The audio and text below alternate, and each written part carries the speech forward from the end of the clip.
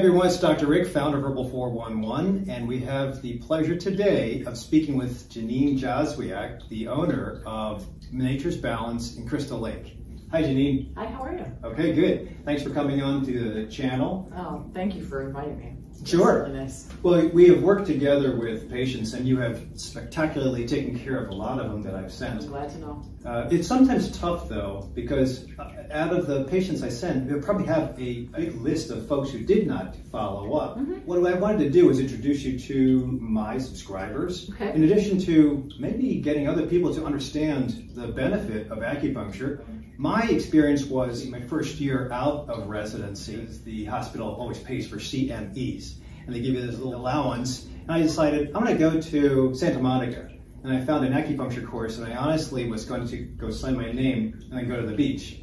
And the story that I've given to my other patients a long time ago when I was into this, oh. I had long hair back then, and I was somewhat um, Xiao Yang. I was very um, aggressive. Testosterone was probably high. It was a room full of doctors, 600. I took the front seat and I challenged the originator of American Academy of Medical Acupuncture, and I was say I did things like you know, if I have somebody that's on the field and he's got an injury and it's iced up, how are you going to take care of that? And he immediately said, go to the other leg. I threw out left and right, and he had great answers. And I was using my um, Newtonian awareness to figure, okay, you have to have an explanation to this. Because I didn't understand energy medicine. Einstein in theory sometimes uh, uh, rubs a lot of me, my colleagues. I love it now. And I think I know the value, not only being a traditional Chinese medicine acupuncturist, but also teaching yoga. It's still a tough sell for me. How do you uh, go about explaining to patients that come in that we could benefit from this? Good question. Um, so it's the most common thing people will ask. You know, they'll have, for example, right knee pain, and you know, I will go to the opposite elbow and treat, or possibly the scalp. Well, you know, it's my right knee that's hurting. So, you know, the way I explain it to people is, you know, when you go into a room and you turn on the light, you don't go by the light bulb, you go to the switch. So you turn the switch on. So this is just a switch, the elbow, the scalp, they're just switches. Everything's a microsystem of something else. You know, if I really wanted to get crazy, I could treat the whole body with just the tip of my thumb because it's a microsystem of the entire body. It's a reflection of the entire body. That's the way I explain about how it works. And basically, acupuncture is all about relieving stagnation. Stagnation is, is caused by a physical trauma, an emotional trauma or a chemical trauma. And if you think about it, it's kind of like we have these hoses, for no, for better, no better way, running through the body called meridians. And basically what happens is you cut off the supply of blood, nutrients, and oxygen to a particular area from a physical, chemical, or emotional trauma. You know, when you think about it, you get a bruise, you got this big hematoma, you know, you, you got redness, you got swelling. Okay, well, that's cutting off circulation. Okay, it's, it's just clamping down on things. Mm-hmm. And so what we do is we open those meridians up and we open that up. So it's just like if you were gar- gardening, you were took the hose out, you're gonna water your plants and you have the water on, but nothing comes on Right. when you go out there. Well, if you don't do something to unkink the hose, your plants are gonna die. Same thing is true with your with your body and with your cells. So we just basically unkink the hose in the body meridians and get everything. So hopefully everybody is following through. The meridian system in traditional Chinese medicine, if you look it up online, you can see lines that go Correct, up and yeah. over the body, and there's 12 of them that have been practiced since 2,500 years ago. Yeah, long, long time. You think about it, you look at the many different gyrations, you know, there's Chinese acupuncture, there's Japanese acupuncture, there's Taiwanese acupuncture. Hmm. I mean, acupuncture is been found in many, many cultures. So when did it really start? Who knows? Hard to say, but for sure, it's been around a lot longer than Western medicine. Oh yeah, just a few years. Right. Well, what do we have? Mes- Western medicine's probably like 200 years or something like that. Yeah, maybe. Yeah. And, and I think I can't dismiss Western medicine. I think data is great. Uh, the millennials now are, are always wanting to know what's going on with their bodies. I think it's helpful a bit to know data because it engages motivation and uh, participation in the treatment plan. But as we talked about earlier, there are some people who just come in for a single visit and then they overdo it and then they think it didn't really work. Right. Yeah. Common common things that happen. People come in and they'll have oh this back pain, and so we'll work on the back pain, and you can see physically. I mean, you can see the changes in their face. I mean, as soon as they leave, I see a difference. Their gait, the way the movement is more fluid. So they leave out of here, and then they come back, you know, a couple days later, because typically I treat twice a week. Is the ideal situation, and um, they'll come back and they'll say, well, you know, how how was your treatment? Oh yeah, yeah I don't think it worked. and then you got to kind of reel it back and say, because I know it worked. I mean, I can tell it worked.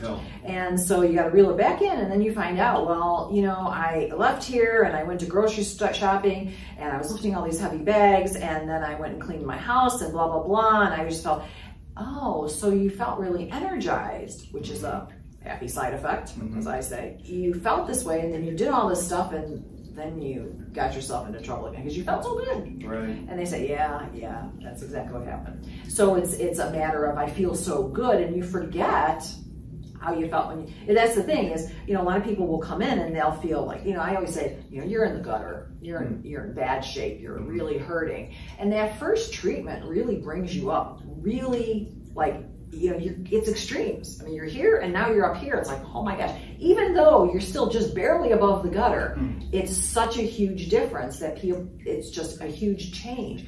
And then people say, well, why don't I feel like that? Well, and that's what I noticed when I started uh, using the medical acupuncture after the graduation in the program. Mean, honestly, I didn't go to the beach. I wound up staying for the entire that's course. Good. It took about a year.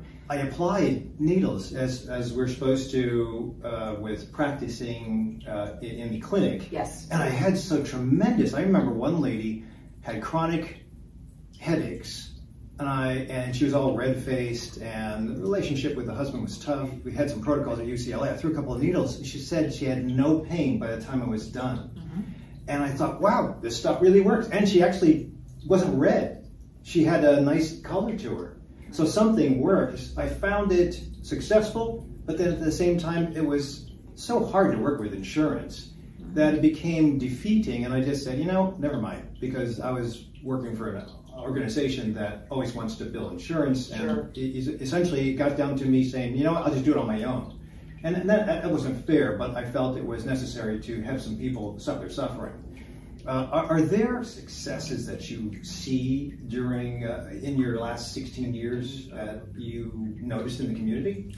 Yeah, so so for me, the biggest my biggest love is when people come in an acute situation, and and I've even expanded acute to being like during the first month because most people are not going to think of to come to an acupuncturist, you know, after I you know fall off the ladder. So it's after the first time then they think about it because the first thing they're going to think about is you know they're going to do the typical rice protocol, mm-hmm. um, and then they may go see a doctor, they may get some anti-inflammatories, and then it, something happens it gets stuck. That that's that stagnation gets stuck in their body, and they can't seem to get rid of it. So then they come in, and that's I mean the results are phenomenal, really really quick. I mean the sooner you get in for acupuncture, the faster you get results. And I mean, I had uh, good examples. I had a woman come in. She got stepped on her by a horse. Her, her foot got stepped on by a horse, Ooh. and um, I mean, she's hobbling in, swollen foot, you know, all bad. And um, we treated her. So she came in the next day. She was walking in like normal. Hmm. Her foot was no longer swollen. It was all black and blue. And she really had no pain. Nice. So, so that's huge. So the, again, the quicker you come in, the better. The same thing is true with uh, strokes. If you treat a person while they're in, as soon as they're stable, don't wait until they get out of the hospital. Yeah. As soon as they're stable, start putting needles in. The response is going to be so much better, so much faster because every second the pathways, the body is finding another pathway to get around, and it may not be the best pathway. Mm-hmm. So the faster you get in there to re- release that stagnation and get things moving properly, the better off you'll be. You maintain that natural pathway of movement and thinking and circadian rhythm or reaction. Exactly. Versus having the blockade there, which is a stroke is a an area of the brain that doesn't get blood flow and dies. And it usually doesn't get blood flow either because there's a big embolus that gets stuck mm-hmm. or there's a bleed somewhere. I think in China they have acupuncturists in the hospital. They, they do.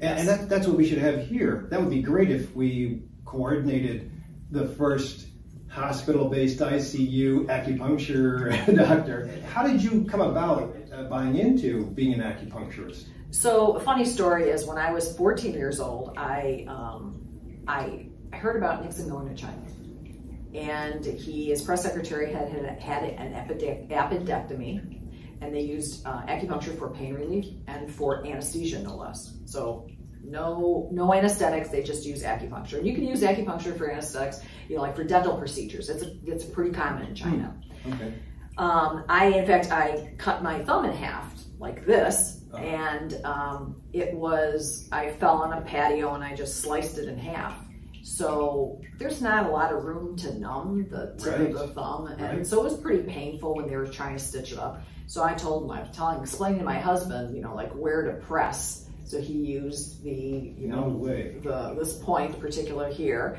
and he kept pressing. And he goes, "Well, do you think it's working?" And I said, "Well, are they doing anything?" Well, yeah. I said, "Well, I guess it must be working because I'm okay." You know, they gave me, you know, all the painkillers and they gave me all this stuff, and I never took anything, and I was fine. Yeah, they were stitching this hole from here all the way around. It almost actually cut. It almost met in the middle, so that's how oh, it was pretty bad. That that is not placebo. That's not you thinking yourself into numbness with your husband applying a, a pressure. On the opposite hand. On, on the opposite hand. Yeah. So he they were doing this and he was doing it here. That's fantastic. You know, I remember when I was a kid seeing something in black and white. It was a, the the Nixon trip. But I remember uh, a couple of uh, on the TV a couple of uh, acupuncturists going like this with the needles Tw- around twirling, the, twirling the needles. Right around the belly that was filleted open. And it just shows you the power of this concept this science. In fact i like the way you said acupuncture has a side effect of increasing energy versus and my medicines. I can i can kind of work with my prescription medicines to not have so many side effects. That's usually microdosing or knowing the right use. But when your side effects are minimal to nothing, I, I, I remember even, I'm not sure if you do this, but I remember even doing acupuncture on uh, folks with warfarin or Coumadin. Mm-hmm. Um, in, in the, the blood test area of my old office, you have to be really careful about drawing blood on somebody with sure. warfarin or, or a blood thinner for fear that they're going to bleed out. Mm-hmm. Well, I would throw needles in and they would be fine. Mm-hmm. I, I, think there was even uh, one word of caution with uh, UCLA as far as needles for pregnant women. Point, there's points when you're pregnant that you cannot use because they're too moving, they're too stimulating. Mm. However, as you get more towards the end of your term, then that's when sometimes you can use those points to help get things moving along. A lot of women come in and you know they don't want to be you know have a C-section they don't want to be induced. So we can use some points to help to just kind of open the channels up, start the dilation process, just getting things to move along. And it's, and it's really fascinating when you do that because you can actually see, you know, the baby shifting into place. No you know, like for example, um, a breech. You know, you do the right points. We have a protocol that's used, and you go home with Moxa, and they do Moxa, and the, the baby will shift. Funny story. My teacher, he um, was doing a treatment on a pregnant woman and they were doing an ultrasound at the same time. Oh. And he, you know, put the needles in to turn the baby, and the baby turned on the ultrasound, and he just about had it. He just passed. he passed out on the floor, like, oh my gosh, this, Give him needle. This is so amazing. This really works once a person, a patient feels the success, you probably have a frequent flyer that yes. will always divert to acupuncture before medicine. Yes. And I'm not saying that you should ever do that, but I think that us working together Absolutely. will empower our community and our viewers and subscribers, our patients, to really have a well-rounded approach. Mm-hmm. Life is balance. Uh, I think that's where we fall short in Western medicine because it's too heavy into I'll be the one who takes care of the disease, just mm-hmm. take this or let me cut you, versus us giving a treatment and then empowering the person to do a better job at living life acupuncture is a natural way to rebalance the body and to bring it into homeostasis. So it just, I, I was driving down the road one day and I was in a, an area where there's lots of trees and I thought to myself, and I was coming up with all these names and I had like lists of names and I would ask people what they thought about them. And then I just drove down this area and I went, admit, nature's balance. That's it. That's it. To me, it makes perfect sense. Definitely. I love this place. I love the energy in your office and I love the story. I think that we'll be able to do many things together, hopefully soon. And I appreciate the time that you've spent. And I, I'm looking forward to maybe when we present on Yes. January 14th. Mhm. I'm excited about that. Yeah, this should be great. So those of you who haven't, uh, we're having a, a conference called Ignite Your Life. We have several speakers that I've uh, done interviews on. Janine will be one of them. If you're stuck, if you're hitting a dead end, or you're on a ton of medicines and you're just not getting any healthier, I think that Janine would be great to be part of your team. And come out to the conference to meet her too. Ask questions. We have uh, enough time. And uh, could you tell folks where your clinic is? Sure. Uh, Nature's Balance Acupuncture is in Crystal Lake, right on Route 176, about a block west of 31, so it's really easy access. Yeah, I would love to help anybody who wants to come out and see what they can do to change their life and change their health span as well as lifespan Right. in 2023. So thank you very much for having me. Um, we'll meet you at the conference or we'll see you online one of these days. Yep. Thanks. Denise. Thank you so much. it. Thank you very much.